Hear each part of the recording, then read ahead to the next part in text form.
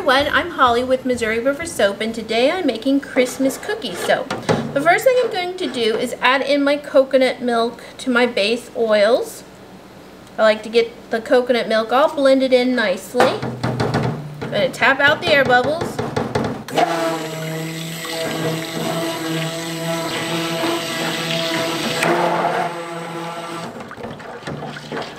It's pretty shallow down in this container so it's being a little bit stubborn with depth wise.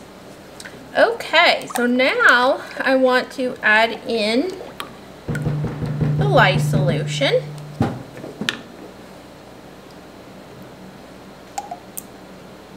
I have the fragrance oil sitting over here by me and it just smells so good. I about can't stand it really.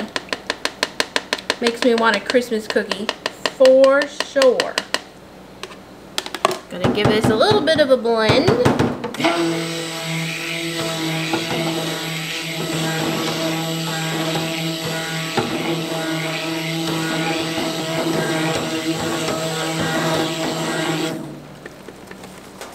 I want to split just a tiny bit off for some white for the frosting.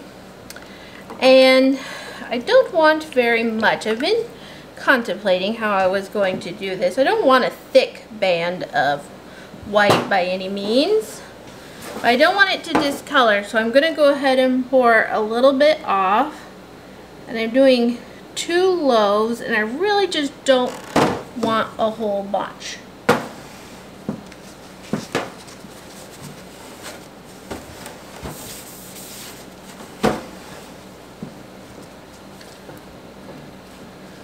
And then into this base, we'll go ahead and go the fragrance oil. I'm thinking though, I should, so that I don't put any more of the fragrance into this one via the stick blender later, I should mix this one first.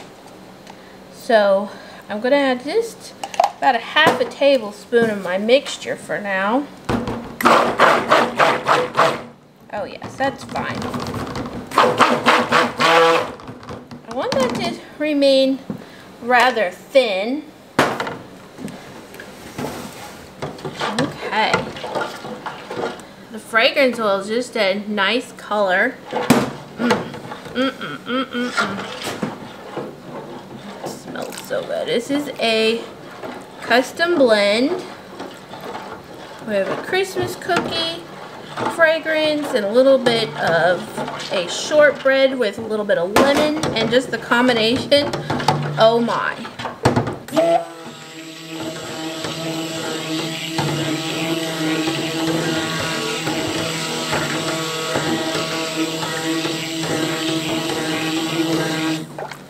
Now I'm going to rely on this fragrance discoloring the batch. I'm not going to add anything to it. It does occur to me that perhaps I should lighten it just a hint. That would actually work out quite nicely. I just lighten it just a little bit to keep it from going too dark.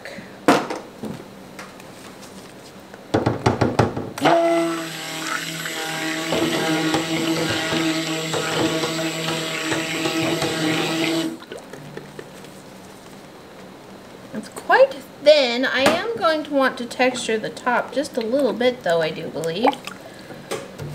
So I'm bringing up some of the white onto the edge to pull down anything that might be uncolored, unwhitened, unfragranced possibly, so that it's a uniform color and discolor. This is very thin still. It's being quite delightful. It is at a light, just a faint light trace, and I don't know if you can see that. We'll swirl some of the batter onto the top, and it will leave a bit of a mark.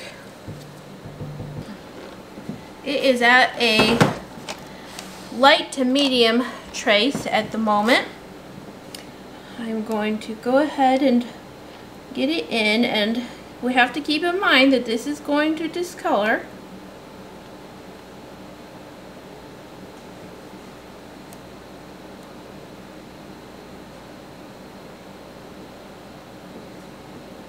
I just love frosted sugar cookies at Christmas. I mean, who doesn't? I mean, I suppose there's somebody.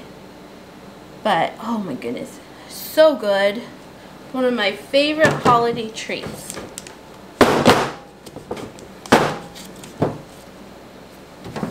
I'm going to spend a few moments scraping out the container and then I'll come back to you. Okay, so this white part ended up being a little bit thicker than I planned on. Let's just see what happens. I'll get it on for the most part and see how much I have. I think I have plenty, so I think I'll end up having a little thicker white top than I intended, but we'll roll with it.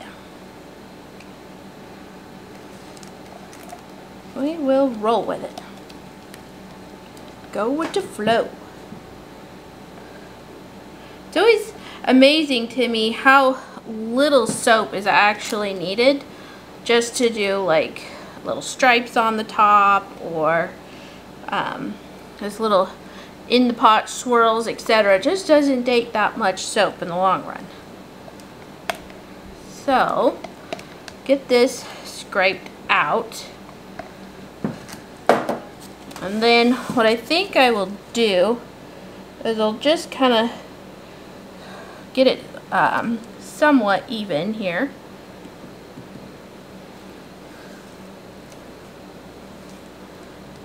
So I guess we're just going with the white top at this point. Basically what I didn't want to do. But it'll be alright.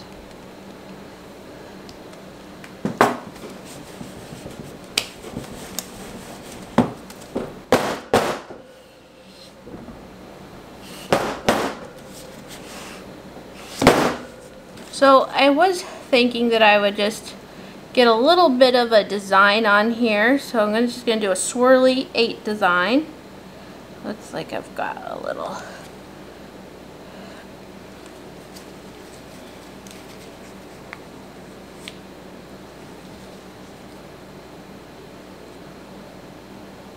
Always looks really nice, especially on a solid color.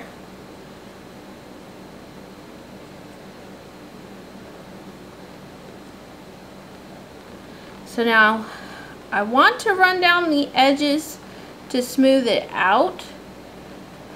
But that is going to change my design and it's going to pull it. So I don't think I'll end up doing that this time. So now I have some um, sanding sugar. So I have some red, some plain, and some green. And I don't know if my gloves are going to work. Let's give this a try. Yeah, it'll be fine. I don't want a lot. Just a little bit. Not a lot, just a little. And it'll kind of give it the look of having, you know, sprinkles on the top of a frosted Christmas cookie.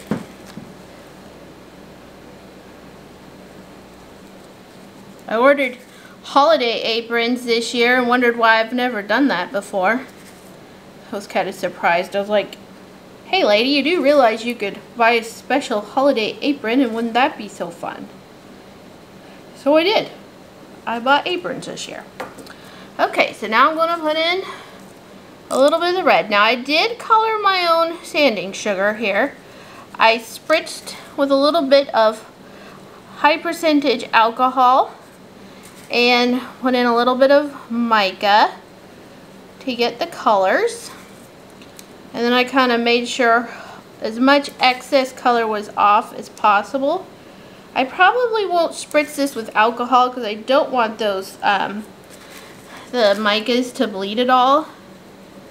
So, it may end up ashing a little bit, but it should be fine because it's a white top anyway. This is so much fun.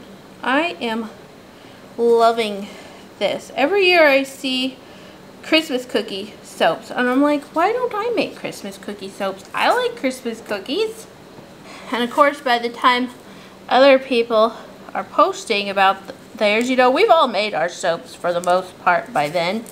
So this isn't showing up a whole lot, but I think it's still going to look nice in the long run. Having a little bit of this just regular sanding sugar. I'm not going to glitter anything because we do have some people, good, good customers that aren't big fans of glitter.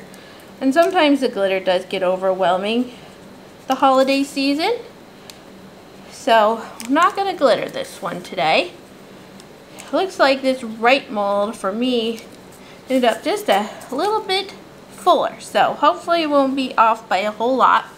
So here we have Christmas cookie soap and it's scented in a very sugar cookie shortbread with a hint of a lemon.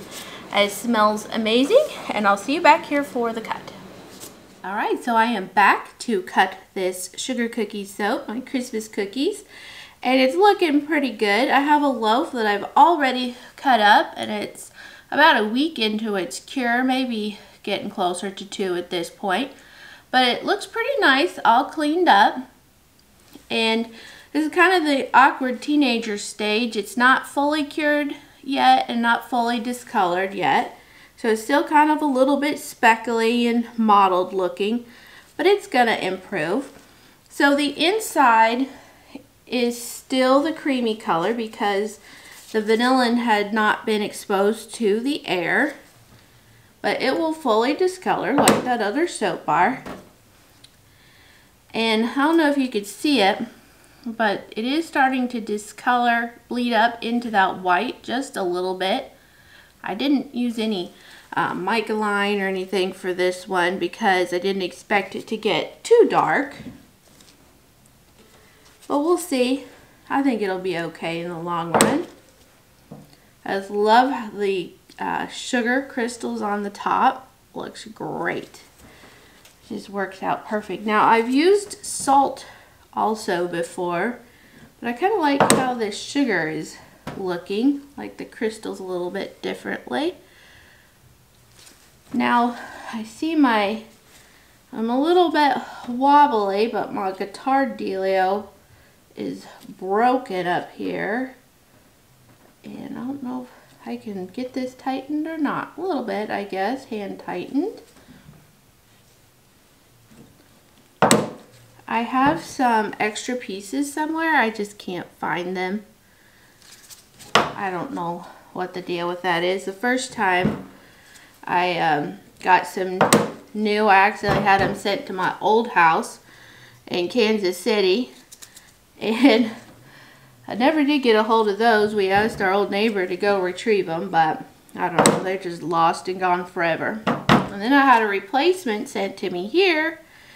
And now, who the heck knows where those went? I don't know. I feel like come January, I just need to have a just a good old-fashioned declutter. I just need to go through everything and that always feels good in January anyway for your whole house, doesn't it? Let's kind of straighten everything up. So this smells so good. It's just a very light cookie. It's not overly sweet. You get that hint of the lemon in the shortbread. And that's actually quite refreshing. So I think you'll like that too.